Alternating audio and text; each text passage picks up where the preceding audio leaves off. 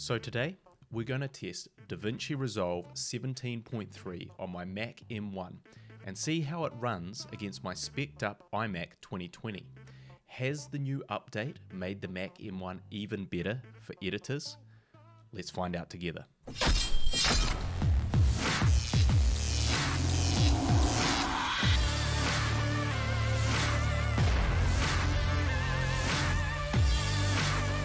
Hello, everybody. My name is Guy Pigden. I am the Savage Filmmaker. I make feature films, web series, and shorts, and I'm here to give tips and advice to indie filmmakers about how to make those things. This is what you might call a very impromptu episode because, out of the blue, Blackmagic have just announced a new update for DaVinci Resolve, version 17.3. So what?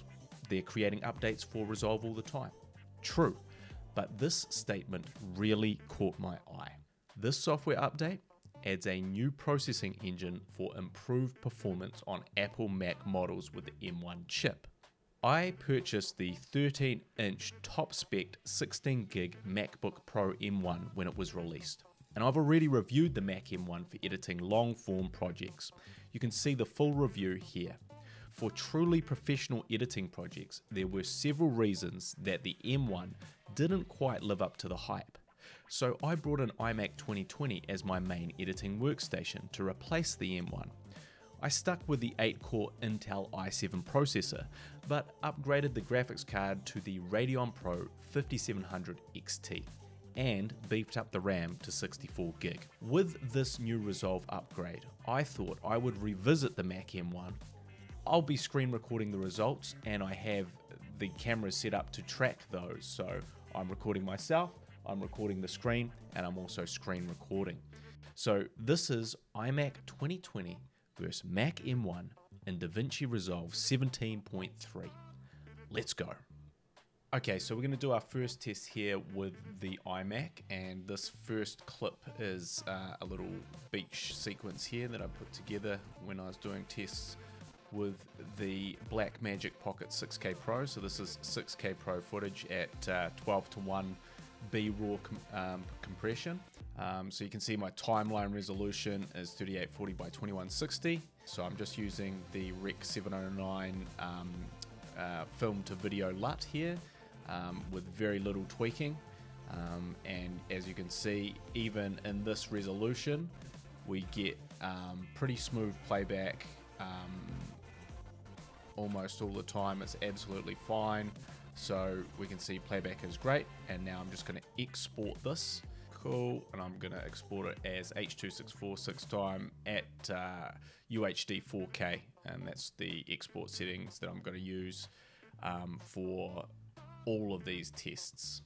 So if we have a look here at the frame rate, um, it's going at about double speed. Okay, so that took 53 seconds, uh, 53 seconds to be completed, and that is for a 1 minute 57 clip. So now we're going to take you through these tests on the Mac M1 and we're just going to have a little look here. You can see from my other setup I've got my um, M1 plugged into my external monitor here. It's all rigged up to my RAID hard drive so we'll be getting all the same footage at exactly the same speed as the iMac was. And we can see that we're on version 17.3 and uh, about this Mac uh, we can see that we've got the um, M1 here, M1 16 gig and if we just check timeline playback so this is again um, 12 to 1 B-RAW shot on the Blackmagic Pocket 6K Pro. So all looking very smooth, super smooth here. Um, and we just look, it does say that it's like dropping half a frame when you start playing it. So maybe just a tiny little bit of lag there, but overall 100% responsive. So that's fantastic there. That's all looking super smooth. Um, but now let's just have a little look if we change our timeline settings. So currently we're set to the timeline playback at 1080, but what if we bump it up to uh, Ultra HD? And now let's have a play. So immediately we've run into some problems, okay? playback is not at all smooth um, at Ultra HD, and this is the first test with the sort of the footage that has only got the LUT put on it. So only the LUT put on, and you can see it's actually very laggy. It says it's playing back at 24 frames, um, but it is definitely not. It is really struggling at 10 uh, at um, to play back at normal speed. So it seems to me that um, right off the bat, um, playing things in a UHD timeline is off the menu on the Mac M1, and this whole three times faster thing, uh, well, mm, I'm not really seeing that. But let's do an export and see how that goes. Okay, and our render time here it is rendering out much slower. So again, not really sure what's going on, but this is not rendering out super fast, I would say. Right, so it looks like we've just come to a stop here at 4 minutes and 17 seconds. That is for a um, clip or a series of clips that is 1 minute and 57 seconds. So it's taken us just over twice the length of the clip to export it out. Um, and that is much slower than the iMac at 53 seconds. Um, but let's continue with these tests. So this is test number two on the iMac, and this time we've got this little night sequence that I put together. Now this sequence is a little more tricky than the um, beach sequence, so we've got uh, the LUT applied, a few extra tweaks and denoising, and some stabilization of some shots. So if we just play through the timeline here, so you can see it's actually playing back pretty well for the most part. And we're now just going to up this to our Ultra HD. And we're going to save it. And now we're going to try playing back. And we start to get a bit of choppy playback here. And just playing again. Again, we see we're dropping some frames. And it's no longer super smooth and you can see now that this is being exported out much slower. So we are getting uh, six or seven frames per second on the iMac. Uh, it's bumped up now so it is speeding up now. Um, but it looks like we're exporting at about half the speed of the actual video clip on the iMac, it has taken us 3 minutes and 41 seconds due to the amount of denoising that DaVinci Resolve had to do on the export. Um, so let's move on to our next one. Okay, test number two with the Mac M1. So we can see here um, with the noise reduction, we're getting playback at about 12.5 frames um, but it is definitely struggling. If you've got your um, noise reduction turned on in the grade, uh, as I do, um, you can see that uh, yeah, it's it's not looking good. UHD um, and see how we go. Oh, so now it's just started loading and Okay, I press play, it's not even playing. So if we're looking at this render on my timeline, um, on my video here, we can see it's rendering at uh, one to two frames. So we finished our night shoot export and it was completed in 20 minutes and 17 seconds compared to the iMac at 3 minutes and 41 seconds. So again, um, another fail for the MacBook M1 in terms of really competing or in fact being very viable. Remember that this was a 1 minute and 35 clip that just happened to have a lot of noise reduction and a fair amount of stabilization as well. Anyway, on to the next test. No! No more fucking tests, okay? The tests all wind up the same. We don't need to see any more of these fucking tests. Do you know what insanity is, past guy? Um, Doing the same thing over and over and expecting different results. That's what you're doing. okay. Yes, past guy. We get it, okay? You're very thorough. You're very meticulous. Do you want a medal?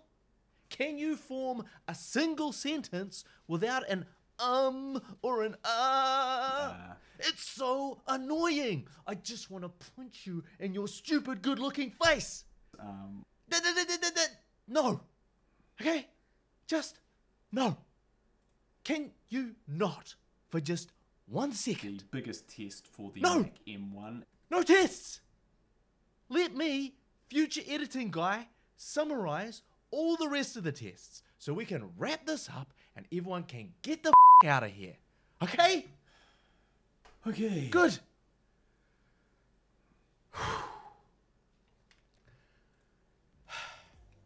Past Guy ran three more exports on both machines. Some clips from my Lord of the Rings skit, which had some heavy colour grading, the full Star Wars parody I recently uploaded to my channel, and an export of some 12k footage downloaded from Blackmagic's website. The first two exports were B-RAW 12 to 1 6K footage filmed on the Pocket 6K Pro, and the final export was 12K B-RAW footage from the Ursa 12K. The results were all very similar. The iMac could play most things smoothly in a UHD timeline, and almost everything smoothly in a 1080 timeline. The Mac M1 could never play anything smoothly in a UHD timeline, and anytime denoising or heavy grading was involved, it struggled to play back even in a 1080 timeline.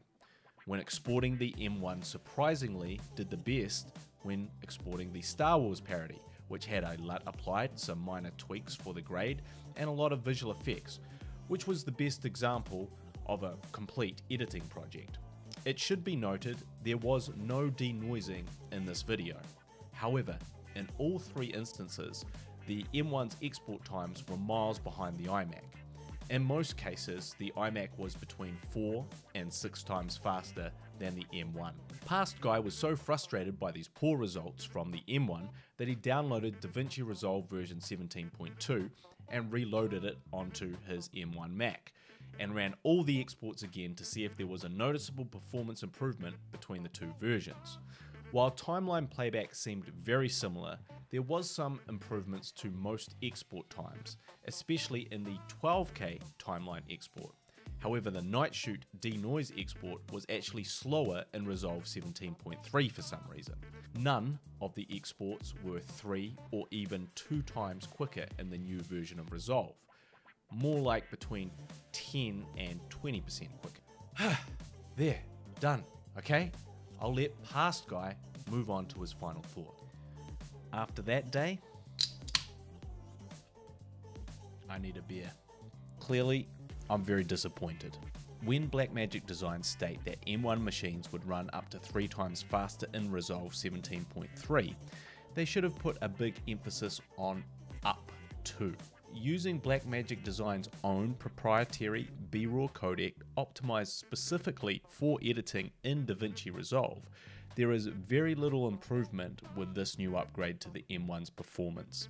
As far as my tests show, if you're a Blackmagic shooter filming in B-RAW on an M1 Mac, you will get none of the claimed benefits from this Resolve 17.3 update. The Intel iMac 2020 absolutely smoked the Mac M1 in every export and timeline test, and while I entirely agree that it's not a fair fight, I expected there to be at least slightly more competition with this new update. This experiment has only reinforced my opinion on the Mac M1 for editing.